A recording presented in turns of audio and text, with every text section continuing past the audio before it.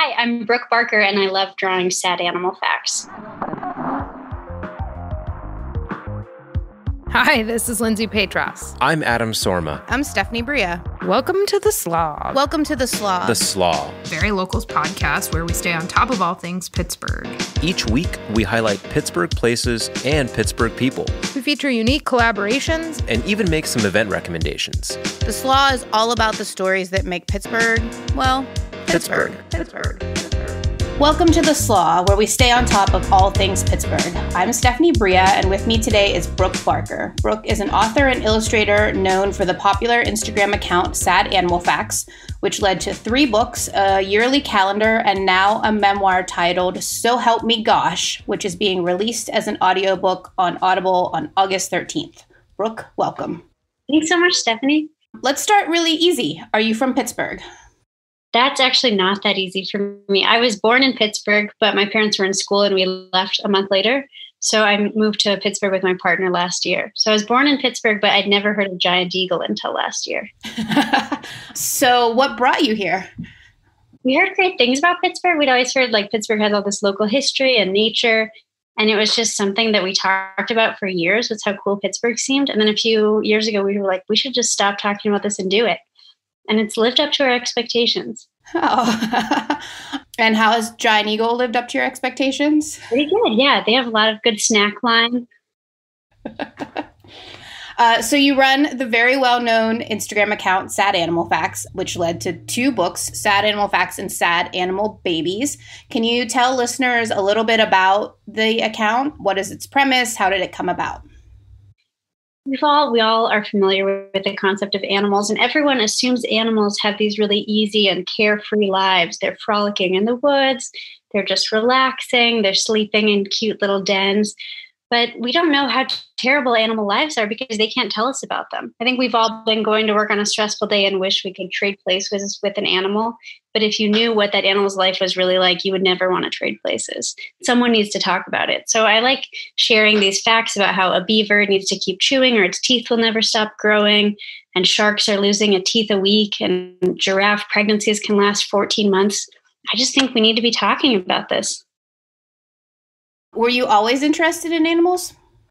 I've always loved animals and I never had pets growing up, so I sort of just learning about animals was my was my way into animals. And you you draw and then you provide the facts sort of as like these kind of little tidbits of information, easy to read, quick to understand, correct? What how did that format sort of come about? Sort of combines all the things I like. I like drawing a lot and I love drawing animals. I'm sort of an obsessive researcher and I like sort of eavesdropping and noticing the little things people say sort of offhandedly. So this sort of combines the sort of sadness that's in all of us that's really in all these animals we don't know about yet. That actually leads to my next question, which was how do you research um, your posts? You said you love you love deep research. Yeah, now that I've made this sort of an accidental full time job, I read a lot of National Geographic and a lot of science journals. And a lot of newspapers will have a science section, at least weekly, where they have some new animal facts. And now that I've been sharing them online, a lot of people will email an animal fact when it's out in the news. This year, there's a bird called the white bellbird. It's a white bird with sort of an interesting beak. And this year, it was discovered that it has the loudest call of any bird. And the way it mates, the way it tries to impress a mate, is it'll move right up next to them on the branch and then it'll yell as loud as it can. And it's the loudest bird call in the world. So it's a pretty sad fact. And that one was sent to me dozens of times. If there's a good sad fact, people make sure I know about it. How long have you had the Instagram account? I've been doing it on Instagram for five years now. Before, I just sort of liked drawing them and knowing them. To me, they seem like something that's interesting to share with like a stranger or interesting to mention at a party, but they do surprisingly bad at parties. No one likes hearing that a giraffe only sleeps two hours a night or something at a party. So I was like, well, I'm going to put them online just for me. so recently started a series called Meet This Scientist. Can you tell folks a little bit sort of about how Meet This Scientist came about and what it, it entails on your account? Yeah, it really started with a few years ago I'm sure no one is surprised to hear this, but there are a lot of fake facts on the internet. People like fact accounts, and a lot of these facts just aren't true. They'll be like a mix of animal facts spreading around. People are sharing the same one, and there's no research behind it. So I like that I really do this research behind each of them. And it makes you learn these stories about researchers like, how did we find out that sheep can memorize 50 faces? You know, there's a good story behind that study. And everything that these scientists are doing, usually the research is even more interesting than the fact. So I really wanted to start a series where people could learn about the science scientists that are doing this work.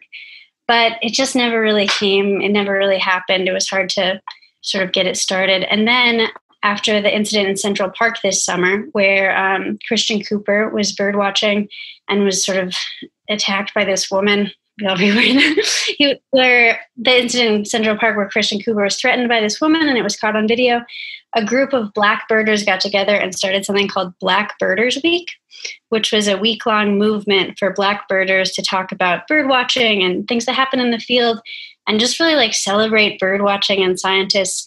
And it was such a cool week of programming because it's so nice to just sit and there was one event where you could watch a live stream of a lot of scientists just like looking at a live stream of an aviary and just commenting on the birds.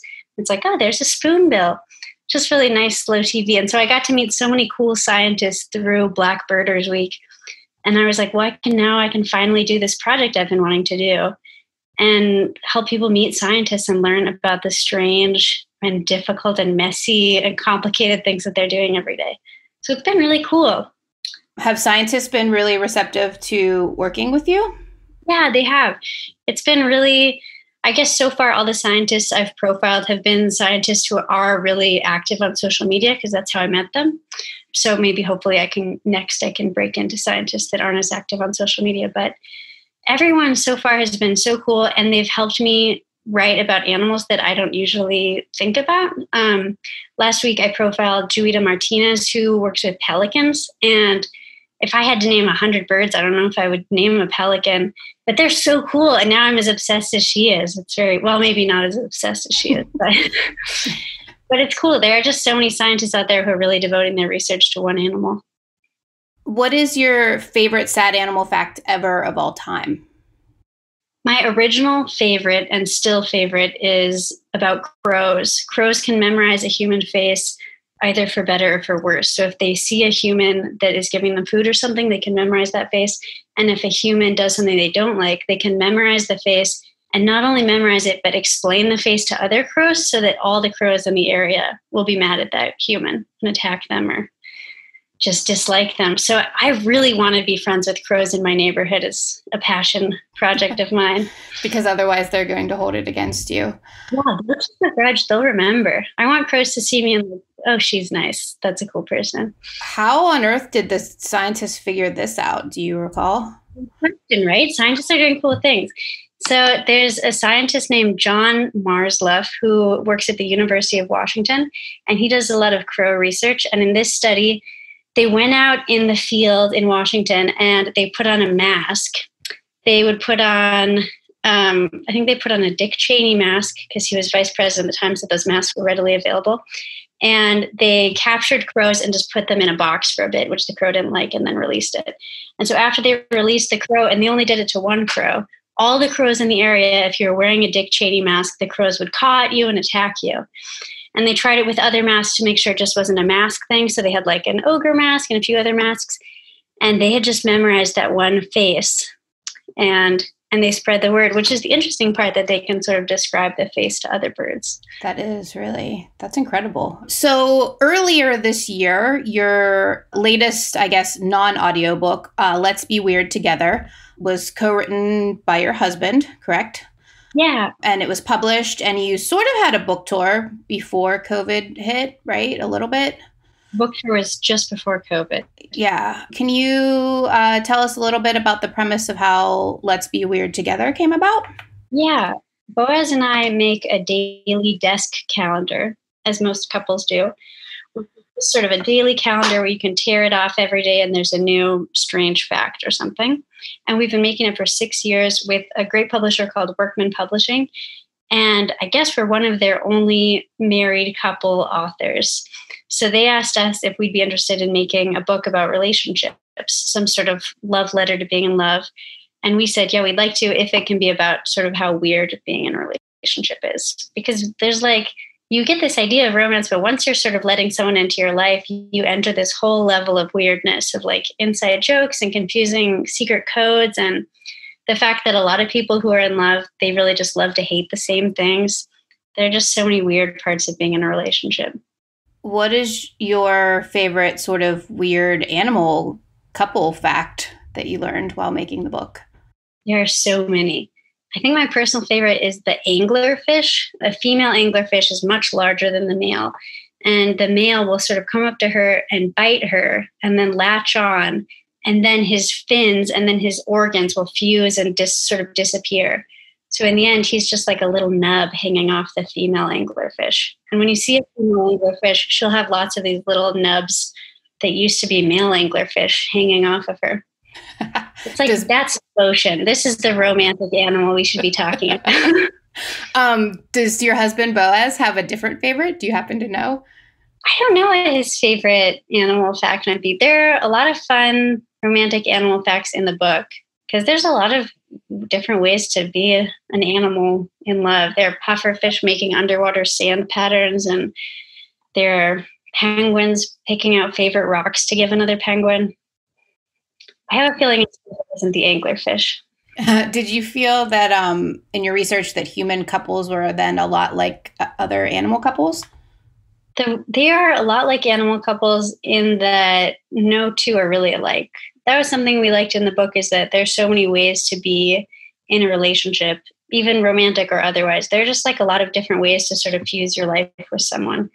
And it's cool to sort of explore all the different ways that that can look whether it literally fuses with someone or whether it's a little more passive. the metaphorical fuse. so let's chat about your latest project. It's an audiobook memoir titled So Help Me Gosh. Can you tell us a little bit about what it's about and how it came about? Yeah. So it's an audio book of essays that sort of is a memoir about me. I was this nervous and shy and honestly pretty weird teenager. I wasn't very confident, but I also grew up really religious. I grew up LDS or Mormon.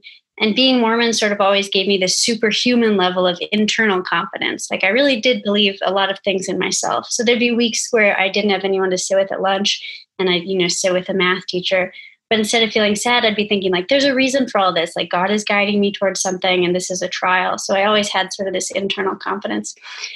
And it, I mean, it's sort of, it's just a weird part of being a teenager. Looking back, all teenagers are so weird. We all have misplaced confidence for one reason or another. when I tell these weird stories about weird things I did growing up, there's sort of stories everyone can relate to if you've been a weird, overly confident, but also a mess teenager. And then at the end of the audiobook, when I grew up and I realized that I didn't want to be LDS, the faith was sort of against a lot of things that were important to me.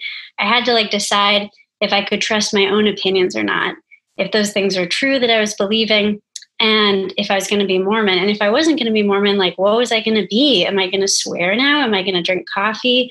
What do I believe in? Like what what's happening? And if something bad happens now, is it not a trial that God's giving me? Is is life just bad? And I think these are things that people sort of all relate to. Also, these like weird idiosyncrasies we have as adults. So it's sort of like Big Mouth or Never Have I Ever, like Freaks and Geeks, but with more praying scenes. and so Audible reached out to you and said, "Hey, do you want to write this book?" Yeah, they did. I had written an essay for Lenny Letter a few years ago that they really liked, and so they were like, hey, do you have more stories like this? And I did. Well, burning question Do you drink coffee now? I do drink coffee now. I didn't drink any during this interview because I thought it might be bad for my voice. To give you um, and so, I guess for listeners later in this episode, Brooke is going to read us an excerpt, um, and that will be after sort of the interview portion of the episode. So let's pivot to Pittsburgh. You've been here for what, a little over a year? Is that right? Year and a half, yeah. A year and a half. What are some of your favorite Pittsburgh places? I already have a lot of Pittsburgh places. There are just so many good things in such a nice little pocket. The thing that I'm most obsessed with and that I try to get people to visit Pittsburgh just for this is Leona's. I just think they're the best ice cream sandwiches I've ever had in my life And it, I didn't know I was looking for the best ice cream sandwich in the world, but I found it. And I also just love Frick Park. It's just nice that there's a piece of nature that big right in the city. And I'm also obsessed with Knotzland bow ties. This bow tie company in Pittsburgh that's making accessories out of like reclaimed fabric. So, like what's left over at the factory for making a batch of shirts or something. So, they can make accessories with zero waste. It just seems nice because I think a lot of people talk about Pittsburgh being an important part of American history but she's doing something where I think is really a part of maybe the future of the fashion industry or just sustainability in general. And it's happening. There's a lot of stuff happening in Pittsburgh right now that's really cool. Do you have any sort of places that you and your husband like to go to together, um, out to eat? Or, I mean, obviously now we aren't doing that as much, but in theory beforehand. We're obsessed with five points, but I don't want other people to go because I don't want the line to be too long. That's out. So Boaz, your husband, I've mentioned that more than once. He, uh, full disclosure, is a very local freelancer. He has been making these neighborhood videos, exploring all of Pittsburgh's neighborhoods in alphabetical order, if that's correct. Yeah, yeah. I think he's on each view. There are a lot of neighborhoods. And I'm not going to presume that you always tag along with him, but um, has he sort of shared any sort of Pittsburgh facts or trivia that you've learned uh, during your time here? Yeah, Boaz is sort of a scary fount of Pittsburgh trivia. Already just knows a lot about Pittsburgh. It's wild. Um, my favorite, my favorite Pittsburgh thing that he's talked about is sort of the inclines and the stairs. We love. We watched a Rick Sebak documentary on the inclines and the ones that used to be there and the ones that aren't. And I just love that the city sort of had to work with all these hills we have a dog that we got in Pittsburgh, so he's really a Pittsburgh dog, and he likes to just sit on the stairs with sort of his back feet, sort of like he's sitting, but his front feet standing, so he's like pointing down the stairs. And it just seems like sitting on stairs all the time is just a thing you can only do in Pittsburgh. It just seems like we're just enjoying everything Pittsburgh has. Right. Well, we always ask folks this question to end the interview. And I don't think I gave this to you in advance because I always like to hear people think about their answer um, spur of the moment. So, what is your favorite bridge in the city and why? Whoa. I don't know if I'm going to have as good of answers as most people. I don't feel like I know the bridges too well. Um, I don't drive. So, when I'm on a bridge, I'm not usually familiar with what bridge I'm on. But um, it has to be a bridge over water. It doesn't have to be a bridge over water. It could be any bridge. We had someone tell us about a bridge that was buried that was no longer there anymore. I mean, there's no rules. Okay, good. I guess I like the little bridge that sort of is it's can it's on the north part of Shadyside to sort of get across the the the speedy busway. I don't it's just a bridge no one else is really on and I like walk it's just a pedestrian bridge. I just sort of like walking across it. Mm-hmm. It's not as exciting as sort of a regular over the water bridge, but I don't know what that bridge is named now. need to look it up. We'll have to look it up. Yeah. I'm also excited to listen to the episode about a buried bridge. Yeah, Justin Greenewalt is the is the interview. Well, great. Thank you so much for joining me. This outro might be a little bit long, so to follow Sad Animal Facts on Instagram, it's at Sad Animal Facts. To order any of Brooke's books, you can call or stop by her favorite local bookstore, which is White Whale Bookstore in Bloomfield. You could probably also order them at bookshop.org, and then I think a portion of the sales would still benefit White Whale. And then lastly, uh, the most important thing, the reason that we had this interview is to listen to So Help Me Gosh. You can head to Audible on, is it August 13th? Right? Yeah. And apparently, in theory, not that I'm condoning this, you could sign up for that free trial that you hear advertised everywhere, and you could still listen to this book when it's released, correct? Yes, it's a one month free trial. So if you a couple more weeks. and then lastly, you had mentioned you do something very special whenever people order your books locally. Can you kind of share with folks what that is? Yeah, I have a setup with White Whale. If you order one of my books on their website, I can draw something in it for you, whatever animal and inscription you want.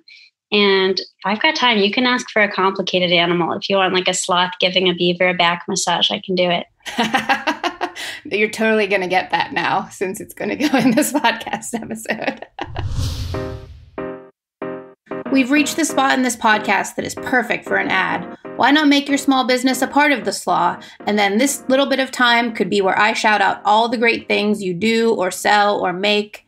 Email us for more info at hellopittsburgh at verylocal.com. That's H E L L O P I T T S B U R G H at verylocal.com. As promised, the next couple of minutes features Brooke reading an excerpt from So Help Me Gosh. Remember, the rest of the essay and, well, the rest of the book will be available on August 13th. Apparently, fun fact, thanks to COVID, Brooke even recorded her entire audiobook from home. For someone who spent so much of her teenage years studying religion, I have a hard time discussing it. The problem is, I'm bad at remembering which characters the general population knows and which characters are only in the Book of Mormon. Moses, He's in the Bible, right? And Adam and Eve, they're in the Bible too? That's what I thought. Or that's what I knew. What about Helaman? Does the name Nahor mean anything to you? No? Well, forget I said anything.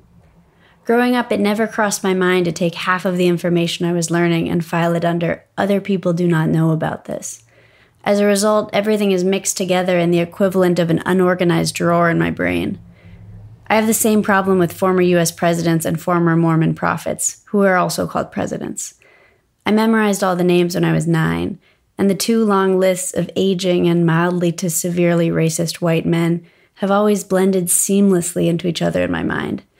Can you blame me for mixing up Woodrow Wilson and Wilford Woodruff? Or Harold B. Lee and Rutherford B. Hayes? Or John Taylor and John Adams? Who is Wilford Woodruff, my friends ask. What school did you go to? Until recently, I never used the phrase to put it in layman's terms because I thought it was an obscure reference to a Book of Mormon character named Laman, who wasn't very smart. Now I realize what it means, but I still don't really use it. Hey folks, it's Stephanie. One last time this episode. I'd like to thank you all for listening, and as always, please reach out with feedback or guest ideas. Send me an email or join our Facebook group. It's called The Slaw, Staying on Top of Pittsburgh exactly like the show. And if you want even more very local content delivered to your inbox, make sure you sign up for our weekly newsletter. Go to pittsburgh.verylocal.com and scroll to the bottom. Cheers. Make sure you subscribe, rate, and review The Slaw on iTunes or wherever you listen to podcasts.